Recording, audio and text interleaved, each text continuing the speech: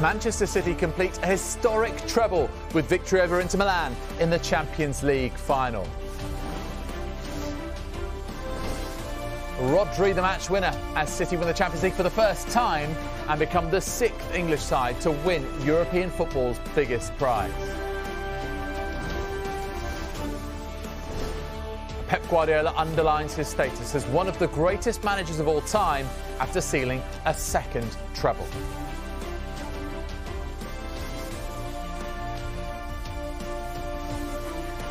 Good evening and welcome to Sky Sports News on a famous night for Manchester City. 15 years after Sheikh Mansour bought the club, City finally lift the European Cup and they've become just the second team in English football history to win the treble following in the footsteps of Manchester United in 1999.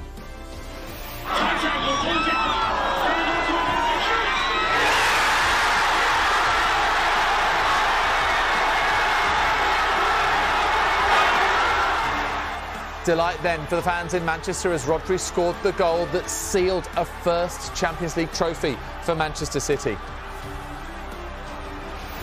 And over to Milan at the San Siro, the mood less than joyous. Inter fans devastated that they couldn't ruin Manchester City's treble.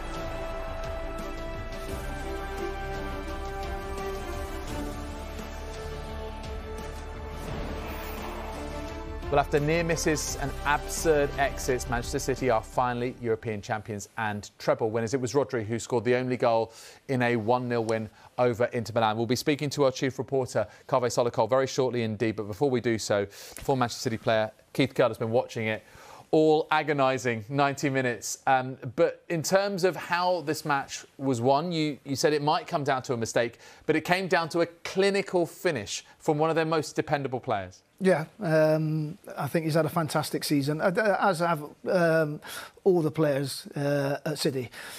I think uh, I think everybody will say now it wasn't the final that they expected. I think they uh, credit will go to Inter Milan because I think they made it very very difficult. Uh, City will be slightly disappointed. Pep will be slightly disappointed because of the standards that he sets about some of the, the, the passes that went astray and made the game more difficult for them. But City showed a resolve today um, that finding finding another way to win. Yeah, You've got to say Ederson uh, has won them the cup with the two, two fantastic saves. Well, I mean, we should talk about that, shouldn't we? Because uh, uh, in terms of taking chances, Rodri took his when he was given that opportunity. It opened up for him. He, he curled it around the two Intermen in his way.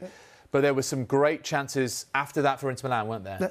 Again, if, if, uh, and it's not just City. I think any team uh, are fragile uh, or can be uh, frail where balls coming in the box and there's a willingness and the opposition's getting numbers into the box and that was shown today. Every time the ball was going into wide areas I'm saying you've got to stop the cross. You've got to stop the cross because uh, it's, it's, a goal scoring opportunity. Uh, Ederson today uh, came out uh, made two great saves took the pressure off when was needed again and I didn't think he started the game the best. Well, well I was going to say he was jittery. I mean, he, he made um, a, a, little bit of a kind of you know un, uncertain start, shall we say? And you know, I remember he, he booted the ball into the gods, and, and, and it was and, you know it was he was playing passes that perhaps weren't as secure as he normally is expected to make. Um, but in terms of the you know keeping cool heads, yeah. who were the other players that you looked to who did actually deliver that? And once the City settled down, they were the ones who led on the pitch. Yeah, I've got to say, um, Gundogan again. Uh, he's a player that can go slightly under uh, un- unnoticed, but he, does, he makes good decisions. Uh, yeah. Silva, apart from scoring volleys in cup finals. But, yeah, yeah, yeah. But yeah, I know what you mean. I was glad he when, runs the game, yeah, but in his own quiet, understated way. Yeah, I was glad when Kyle Walker came on at the end. He gives me that assurance with the, and I think he gives other players that assurance with his recovery runs uh, and his, his, dynamic pace again. But no, again, I think there's um, there's a team ethic, there's a there's a there's a togetherness not only of the team of the football club, which I think is vitally important. Everybody is on the same page. Well, you mentioned Ederson there, you mentioned Rodri. We should also mention two players that went off the field of play before the 90 minutes. Kevin De Bruyne, crucially yeah. in that first half. How much might that have rocked City? And Inter at one point felt like they were in the game and maybe could have made even more of a contest because of that. And, and, I think it happened just as Kevin went off. I think that gave Inter a lift, thinking, well, one of the pieces of jigsaw uh, from, the, from the City team is now missing. Um, but again, Phil Foden. Um, he's not a bad replacement, is he? Mm. So, so when he came back in, but again, uh, Kevin De Bruyne missing gave them gave them a lift. Then City needed to to readjust, and they, uh, I think they did. Uh, as it happens, Phil Foden could have scored, could yes. have made the difference. Had a great chance, didn't he? Through on goal, Andre Onana with a comfortable save away to his left, and also just a word for John Stones because you know he's had this incredible you know, a different season where he's transitioned into this sort of hybrid position in between a sort of a centre back and, and, and a midfielder. Uh, how do you feel that this? What will this mean to him, especially given that that context? Excellent. I think he's probably the one. That, um, the last five, six minutes of the game, I wanted John Stones on the pitch because you know his bravery, his personality, his determination, his aerial ability, his physic- physicality in the box. You want the John Stones in the team. You don't want him stood in the dugout watching the last couple of minutes because you know cause he would go and put his head on it. Um, but again, first off, and this is just a personal opinion, I think he played a little bit too far forward because then, the, then on the transition transitions um, too quickly into we're able to get 3v3, 4v3 at times. And you're saying, well, John, you're going to be a defensive midfield player, not an attacking midfield player. Stay right there, Keith. We'll come back to you in a moment. Let's go live now to Istanbul and to the Ataturk Olympic Stadium and join our chief reporter, Kaveh Solhekol. Uh, what about what this result means, the magnitude of this win, this triumph, and to finally lift that trophy that they've so craved? Yes, I mean, if you're a Manchester City supporter, it does not get better than this. Manchester City have become only the second uh, English team to win the treble. They have emulated what their great rivals, Manchester United, did back in 1999. And you have to keep in mind that when Manchester United won the treble 24 years ago, Manchester City were actually in the third tier. Uh, a couple of days after United won the treble, they played in the, uh, the Division 1, I think it was called in those days, uh, which was basically the third level playoff against Gillingham, and they were 2 0 down with a few minutes left. So it's been an incredible journey for some of these Manchester City supporters who've been there for the whole time, back to when uh, City used to play at Maine Road, uh, back to when uh, Manchester City were almost a joke. People uh, used to refer to Maine Road as the theatre of a comedy. I, I used to remember that phrase being used on the radio when I used to listen to radio commentaries from Maine Road. But look, an incredible achievement, a perfect season uh, as far as City supporters are concerned. Uh, they won the league. Arsenal pushed them a lot of the way, but in the end, they won the title pretty comfortably. FA Cup final as well. They didn't really have to be at their best to beat Manchester United. And this evening, I think it was a little bit harder than a lot of people thought it was going to be because I thought Inter Milan uh, played very, very well indeed. But you never got the feeling that Inter were going to win this game because Manchester City just looked so dangerous going forward. And yet again, you see the strength in depth they've got on the bench with players like Phil Foden uh, coming in. And you have to say that over the 90 minutes, it was fully deserved. And over the course of the season, uh, the treble fully deserved Let's talk about that word because it's been the one, the T word that Manchester City fans have been hoping for for such a, long time.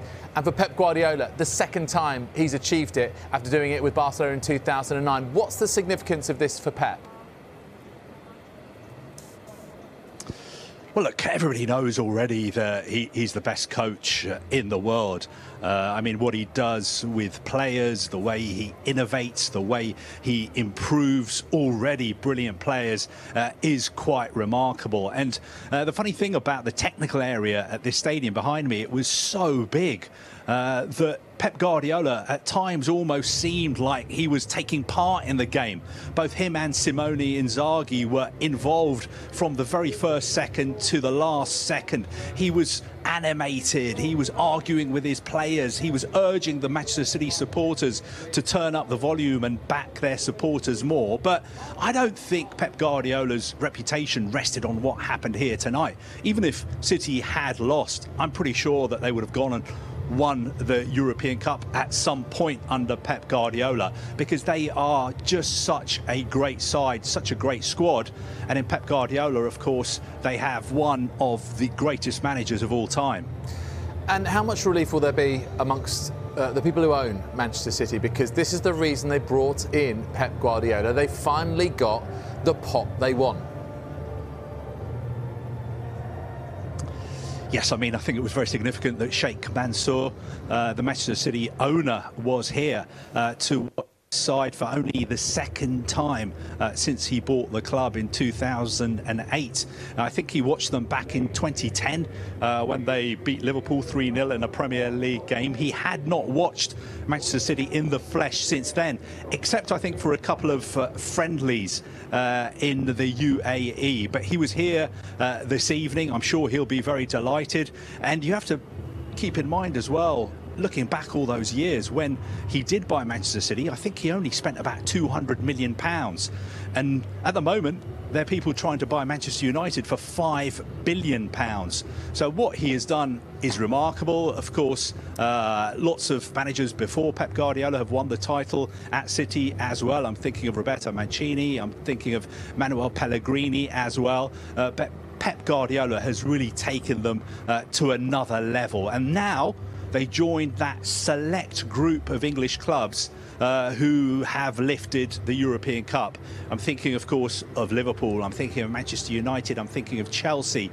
I'm thinking of Aston Villa. I'm thinking of Nottingham Forest, who did it twice under uh, Brian Clough. And let's not forget Celtic as well, because they were the first British side uh, to lift the European Cup as well. So, dream come true uh, for City supporters. Dream come true for the players, uh, Pep Guardiola, his coaching staff, and of course the people who run and own Manchester City. And in some ways, especially as far as personnel's been concerned, Kaveh, it's been a season of transition for City, letting the likes of Zinchenko and Gabriel Jesus go, and then, of course, Joao Cancelo. But clearly, one of the key moves was bringing in Erling Haaland. 52 goals in all competitions this season. Not on the score sheet tonight, but I mean, you talk about taking City to another level. This is a man who's done exactly that, isn't he? It is. I mean, the impact he's had uh, on English football has been uh, incredible. And he didn't score tonight, as you mentioned. This is his longest ever goal drought in the Champions League. This is the first time he's gone three full games without scoring a goal. And I think uh, his goal scoring record at the end of this season has been pretty poor by his standards. I think he's only scored once in the past eight games. But 52 goals uh, in 53 games. I mean, he has done exactly what Pep Guardiola wanted from him. His impact has been incredible. I know there were a few doubts at the beginning of this season. People were scratching their heads and wondering whether he could fit into Manchester City's style of play, whether he was Pep Guardiola's kind of player. Well, he silenced all those critics because he's had an incredible season and he didn't score tonight, but he was still a real handful uh, for Inter's defence. The way he stretches their three centre backs, creating space uh, for some of uh, City's other players uh, to do what they're good at. I've just got to say a word as well uh, about Inter Milan because a lot of people didn't expect them to do very much at all uh, this evening, but I thought they played very, very well indeed. And I think the key moment for them I think it was in the 88th minute, right at the end of the game, where they had that golden chance that fell to Romelu Lukaku. He had a free header just a couple of yards out. All he had to do was place that header either side of Ederson, But unfortunately, he headed it down straight at Ederson. If that had gone in, if that had gone in, there's a very, very good chance that the game would have ended 1 1 and we would be playing extra time at the moment. So I know City are going to dominate all the headlines, rightly so. An incredible achievement uh, to win the treble. Uh, but let's not forget Inter Milan as well, because I thought they played exceptionally well this evening. And what about in terms of the the, the state of play in Europe as a whole. Uh, in the last five Champions League finals, three of them have been won by English sides. Liverpool in 2019, Chelsea in 2021, and Manchester City this time around. And we've also had three runners-up who have been English as well. Tottenham in 2019, City in 21, and Liverpool last season when they lost to Real Madrid in Paris. Is there any, uh, at all, any discussion of the fact that being the Premier League is the strongest league in the world, but also the, the English sides are now regularly, consistently uh, you know, the very top teams in this competition as well? Yeah, we're going almost back to the uh, sort of 80s. Uh, when uh, late 70s and 80s when uh, English clubs used to dominate the European Cup as it was called in those days yes of course speak to anybody uh, in football, and they will tell you that when it comes to uh, the world leagues, the Premier League is by far uh, the strongest, the most watched, the most popular, the richest league as well. And quite a lot of the other big clubs in Europe are scratching their heads, wondering what they can do uh, to compete with these big uh, Premier League clubs a lot of people, of course, watch the kind of football that Manchester City play. They admire it. They admire what Pep Guardiola has done. But at the same time, they look at it and think, we just can't compete with this. We cannot. Uh, spend the same kind of money that uh, clubs like Manchester City, Manchester United, Chelsea have been spending. But I think it would be a mistake uh, to characterise uh, Manchester City's achievements under Pep Guardiola as being just down to money. Yes, of course, uh, a lot of money has been spent at Manchester City. I think since uh, Sheikh Mansour bought the club, their net spend has been more than any other club in the world. But in the past few years, they have been bringing that down. Other clubs like Manchester United have been spending uh, more money than them. But European clubs, you know, the aristocrats of European football, clubs like Barcelona, Real Madrid, uh, Juventus, even PSG financially at the moment cannot compete with not just Manchester City, but lots of other clubs in the Premier League as well. And that is uh, one of the reasons why people were going around trying to set up a European Super League because they want to figure out a way to compete with the power of the Premier League. I think a lot of people will be hoping, look, we had phases in the past where, for instance, Serie A was the strongest league in the world. Uh, then we had La Liga dominating with Real Madrid and that great Barcelona sides. And now it's the turn uh, of the Premier League. At the moment, it looks like it's going to last forever, but who knows what's going to happen in the future.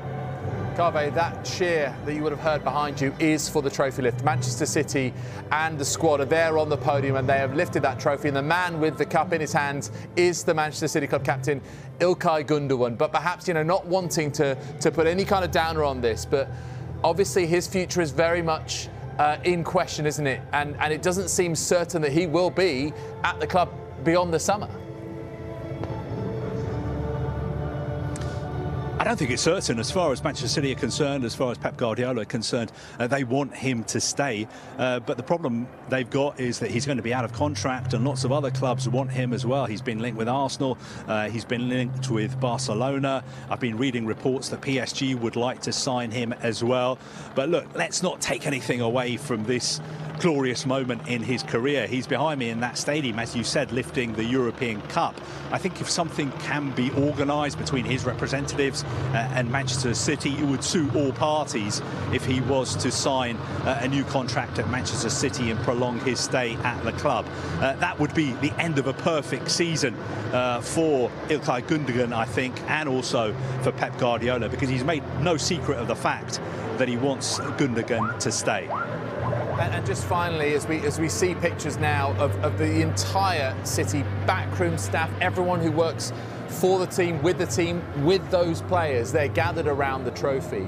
I mean, it seems that they've created something so very special here, Kaveh. It is a bit of a dynasty, isn't it, when you think of five Premier Leagues in six seasons, now this domestic and European treble, which hadn't been done for 24 years. But how, how do City follow this, and how do they match this level of intensity and success and attainment when it comes to next season and the seasons that follow? Well, look, I think the great sides uh, lift the European Cup more than once. There's no reason why this should be uh, the end of a cycle at Manchester City. Uh, Pep Guardiola has made it clear that he wants to stay at City for a long time. Uh, you know, clubs like Inter, for instance, have won uh, the European Cup three times. Liverpool have won it uh, six times. you know, Nottingham Forest won it twice. I'm sure Manchester City going forward are going to try and win the European Cup again and again and again. And there's no reason why they won't if they keep the same uh, nucleus of the squad they have in place, which I think they're going to. If Pep Guardiola stays, which he's definitely going to stay, the owners are not going to go anywhere. Uh, the chief executive, the director of football are all people who work in perfect harmony uh, with Pep Guardiola. So, unfortunately, for City's rivals, their competition, I think this uh, dynasty in European football uh, is just beginning because you don't really have to have a very vivid imagination uh, to uh, imagine City lifting this trophy again and again and again. Kaveh Solhekol, our chief reporter, live in Istanbul at the Ataturk Olympic Stadium. Thank you very much indeed for the moment.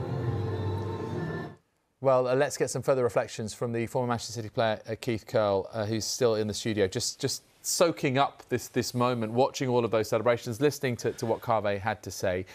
Uh, what, in your mind, is the significance of this moment, of this triumph? Finally, that European Cup for Manchester City that they've wanted for so long.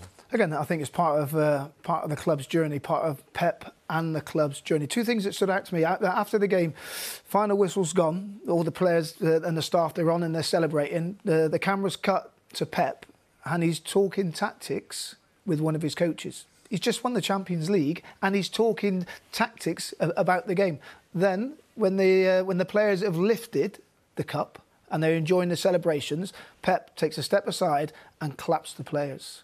He appreciates the work that they've done for him, uh, but as well as it's that that acknowledgement from the manager to the players and being prepared to say, "Well done, chaps. You've done what I needed you to do." That not only game in, game out throughout the season to win the treble, uh, and he's prepared to stand there and applaud them it's not always been the case that Pep Guardiola has made the soundest decisions in these kind of matches before. We know about the, the defeat to Chelsea two years ago, those semi final defeats as well, particularly the likes of Lyon the COVID season, Monaco before as well. Um, but what do you think he's got right this season when it's come to making those key decisions, both tactically and, and in terms of managing this squad? I think trust, which is, um, is probably uh, a misunderstood word or overused word in football trust and honesty. And I think he's got that in abundance with the players, it, with his relationship with the players and with the football club. Again, yeah, yeah, he's a coach. Players make mistakes. Uh, coaches take the responsibility of players making mistakes. If you go into a game and he has a game plan and it doesn't work, um, does that, is that a failure? No. Uh, his game plan on that day didn't work. Uh, he's an excellent manager. Uh, he's an excellent man manager. He's a, he's a he's a, a coach and a manager that you uh, that you think every player would love to play for. He's had those challenges though this season. So, for example, Joao Cancelo, and obviously a, a, clearly a fallout between player and coach or coaching staff, or you know, that it was clear he needed to, to move on. Yeah. But then equally, there was there was talk towards the end of the season about potentially relationship with Kevin De Bruyne because he wasn't starting as many games, not getting as many as many minutes. How difficult is that to, to be able to manage that across a squad of such talent and so many players who all could walk into any other team? I've done it in a few interviews that I've had prior to, uh, well, not only to this game, to a few games, how he manages egos, players' egos. It's one of those sign for me, sign for the football club, park your ego and leave it in the car park. When you come in, this is how we work. This is how I work as a manager. This is your expectations are. And I think those are laid out before a player even puts pen to paper. Um, when you think of what Manchester City have been sort of building and, and the momentum over the last few years, you know, reaching that Champions League final two seasons ago, now getting over the line and this domestic treble, how excited are you about what more could come? Because as Kaveh was saying, this doesn't need to be the end. Oh, it could just be the beginning. I don't. Th- I don't think it will be the end. I think again. I think there will be a journey for this football club, uh, for these players uh, and the management staff to go on. That will see more and more consistent success. Uh, are you expecting there to be many changes? I mean, Kaveh was saying there about keeping the nucleus of, the squad there has been some transition this season. Of course, they let the likes of Zinchenko and Gabriel Jesus go yeah. to Arsenal, yeah. and also made good use of those players. Yeah, yes, very much. So. Um, uh, then obviously Joao Cancelo moving, but Haaland comes in. Do you expect there to be more of those fluctuations, or do you think it is going to be a little bit of a quieter summer for City ahead? I think it will be quieter because you win the treble. Uh, your foundations, your fundamentals of what you're looking for are in place. Yeah, there will be some players that haven't had the starts uh, that they, think their career will uh, will will merit or warrant uh, at this particular time. But again, I think it would probably be their choice. And right, so if you're playing and you're playing for a club that just won the treble and you haven't played games, uh, there's an instant you need to be playing. If you don't see your way getting into the team, is one of those uh, you, you go and play football. Um, Keith, if you don't mind, we'd like to, you to stay with us for a little while longer as we continue to reflect on this on this uh, domestic and European treble that's been completed now by Manchester City. But in the meantime, um, let's just give our audience a, a few more details on what happens next for Manchester City. So the squad will travel back to Manchester on Sunday afternoon. They'll be flying on a, a unique club liveried Etihad Airways, obviously, Boeing uh, 7879 Dreamliner. They will then celebrate uh, this historic achievement with an open top bus parade through Manchester City Centre on Monday, the 12th of June. So that's just in a couple of days' time. Um, and we have already heard from the Manchester City captain, Ilkay Gundogan, uh, as part of, of this statement that Manchester City have released. He said this This is a really proud moment for everyone at this football club. We work so hard every single day. We have wanted to win this trophy for so long. The Champions League is a beautiful competition. We're all incredibly happy to have won. This team deserves the highest recognition, and winning the Champions League elevates us to the very top of the game. And to win the treble is something amazing. It is the ultimate achievement for any club team, and we have done it. It reflects the quality we have in our squad, but it also shows how dedicated we are. Uh, I want to thank the Manchester City fans for their support this season. I can honestly say that we could have not have done this without them. They have been amazing and they deserve this moment. Okay. So, Manchester City are European champions, finally, and treble winners. These are the scenes in Manchester at the fan zone. We'll have more reaction throughout the night. Stay with us.